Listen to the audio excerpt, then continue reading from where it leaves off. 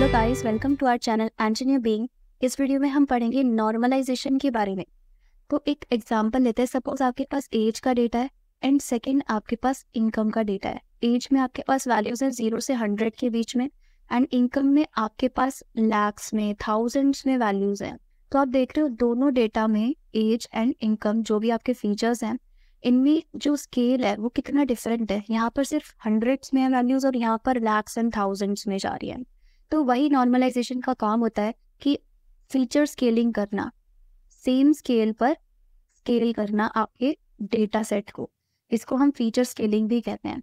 तो normalisation is a data pre processing technique अब इसको प्री प्रोसेसिंग टेक्निक कहा गया है। जैसे कि हमारे पास एक डेटा सेट होता है तो हमें उसको प्री प्रोसेस करना पड़ता है। उसमें हम क्या क्या चीज़ें करते हैं? जैसे हम आउटलायर्स हटाते हैं, या फिर हम मिसिंग वैल्यूज़ को हटाने की कोशिश करते हैं, अपने डेटा की क्लीनिंग करते हैं।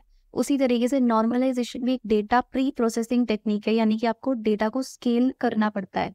अगर इस तरीके से अलग अलग स्केल पर होता है आपका डेटा उसमें जो फीचर्स है अलग अलग स्केल्स पे तो वहाँ पर आपका मॉडल ठीक तरीके से काम नहीं कर पाएगा एक्यूरेसी उसकी अच्छी नहीं होगी। ये वैल्यू ज़्यादा बड़ी है तो इनको ज़्यादा वेटेज मिल जाएगा, और ये वैल्यूज़ बहुत छोटी हैं, इनको कम वेटेज मिलेगा। तो इसलिए सेम स्केल पर करना बहुत इंपॉर्टेंट हो जाता है।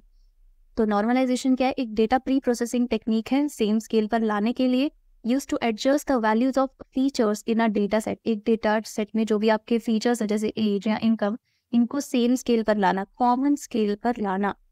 This is turn to facilitate data analysis and modelling data analysis और मॉडलिंग में किया जाता है and to reduce the impact of different scales on the accuracy of machine learning model और अलग अलग स्केल पे अगर आप रखते हो अपने फीचर्स को तो वहाँ पर मशीन लर्निंग मॉडल एक्यूरेट काम नहीं करेगा। जैसे मैंने भी बताया कि इनकम की वैल्यू ज़्यादा बढ़ी है तो इनको ज़्यादा वेटेज मिल जाएगी और एज की वैल्यूज़ को कम वेटेज मिलेगी।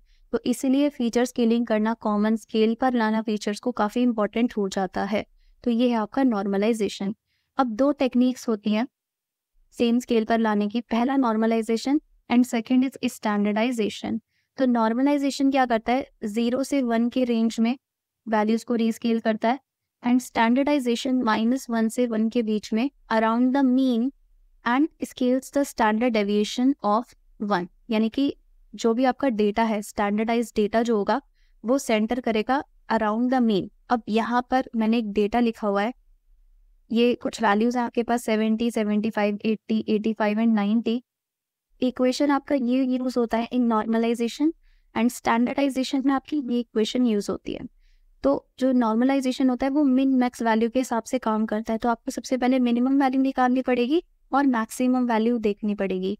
उसके बाद आपको ये फॉर्मूला लगाना पड़ेगा X minus min divided by max minus min तो ये फॉर्मूला लगता है to get the normalise value अब आप 70 के लिए लगाओगे पहले, फिर 75 के लिए देन 80 देन 85 एंड देन 90 के लिए तो ये आ जाएँगे आपके पास नॉर्मलाइज वैल्यू तो आप देख सकते हो ये सारी वैल्यू ज़ीरो से वन के बीच में है। अब सेकेंड आता है आपके पास स्टैंडर्डाइजेशन तो स्टैंडर्डाइजेशन में सपोज़ ये डेटा है 150 टू 170 तो यहाँ पर सबसे पहले आपको मीन फाइंड आउट करना होता है। Sum of all the values divided by number of values तो आपका मीन आ जाएगा। फिर आपको यहाँ पर फाइंड आउट करना होता है स्टैंडर्ड डेविएशन उसके बाद आपका फॉर्मूला लगता है X minus mean divided by standard deviation ये क्वेश्चन आपको लगानी पड़ती है, सबके लिए जब आप सॉल्व करोगे तो आपके पास ये आ जाएँगी स्टैंडर्डाइज वैल्यू तो आप देखो, ये जो वैल्यूज़ हैं, ये माइनस वन से वन के बीच में तो ये स्केलिंग कहाँ से कहाँ तक करता है? माइनस वन से वन के बीच में और ये कहाँ से कहाँ तक करता है? Zero to one including included है ज़ीरो एंड वन और यहाँ पर भी one and minus one included है क्लोज ब्रैकेट लगाया मैंने यहाँ पे। Okay okay. देखते हैं second point useful when the distribution of the data is unknown and not Gaussian and useful when the distribution of the data is Gaussian अब ये Gaussian distribution क्या होता है? तो गॉसियन डिस्ट्रीब्यूशन कुछ इस तरीके का होता है। बैल शेप्ड कर्व होता है आपके पास। इस तरीके का जो डिस्ट्रीब्यूशन होता है ना वो गॉसियन डिस्ट्रीब्यूशन होता है। इसमें यहाँ पर जैसे ज़ीरो है, यहाँ पर वन स्टैंडर्ड डेविएशन इधर वन स्टैंडर्ड डेविएशन देन यहाँ पर आ जाएगा टू स्टैंडर्ड डेविएशन यहाँ पर थ्री टू स्टैंडर्ड डेविएशन इधर थ्री स्टैंडर्ड डेविएशन इधर माइनस थ्री स्टैंडर्ड डेविएशन तो होता क्या है कि sixty eight percent of data जो होता है इस कर्व का, वो one unit of standard deviation में लाई करता है दोनों साइड फिर नाइन्टी फाइव परसेंट जो डेटा होता है, वो टू यूनिट ऑफ़ स्टैंडर्डाइजेशन में लाई करता है। और जो आपका 99 परसेंट डेटा होता है मैक्सिमम डेटा वो three unit of standard deviation में लाई करता है। तो अगर आपको पता है कि आपका डेटा गॉसियन है, इस तरीके का बेल शेप्ड कर्व बन रहा है तो वहाँ पर आप स्टैंडर्डाइजेशन यूज़ करो अदरवाइज़ आप नॉर्मलाइजेशन को यूज़ करोगे। थर्ड पॉइंट क्या कहता है? Normalization is more sensitive to outliers यानी कि अगर आउटलायर्स हैं तो वहाँ पर इसकी सेंसिटिविटी बढ़ जाती है वहाँ पर आपको अलग से दिखेगा नॉर्मलाइज्ड वैल्यू में कि हाँ इसमें आउटलायर्स प्रेजेंट थे। लेकिन जो स्टैंडर्डाइजेशन होता है, क्योंकि ये मीन को यूज़ करता है स्टैंडर्ड डेविएशन को यूज़ करता है फॉर्मूला में इस तरीके से X minus mu by sigma इसलिए लेस सेंसिटिव होता है आउटलायर्स के लिए। तो अगर आपको पता है, आपके पास इस तरीके का डेटा है जिसमें आउटलायर्स बहुत ज़्यादा है तो आप स्टैंडर्डाइजेशन टेक्निक को यूज़ कर सकते हो। फोर्थ है, retains the shape of the original distribution in normalization and standardization change the shape of original distribution तो नीचे जो मैंने एग्ज़ाम्पल लिया था, उसकी हेल्प से देखते हैं।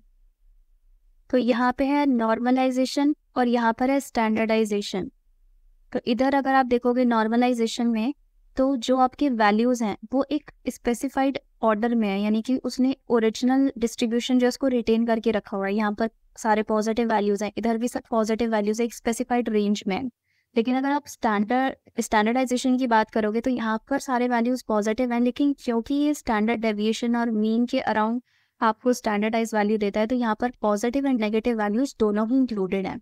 तो इसलिए यहाँ पर लिखा है कि retains the shape of original distribution लेकिन ये चेंज कर देता है the shape of original distribution यहाँ पर पॉजिटिव एंड नेगेटिव वैल्यूज़ दोनों इंक्लूडेड होती हैं।